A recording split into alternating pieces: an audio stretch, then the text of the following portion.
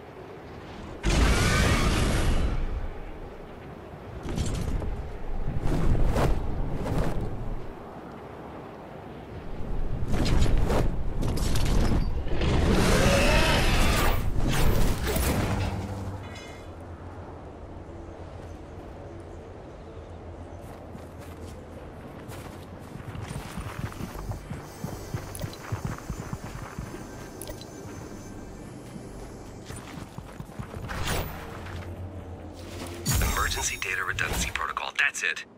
In the event of network integrity failure, credentials can be manually reset at Site 4862.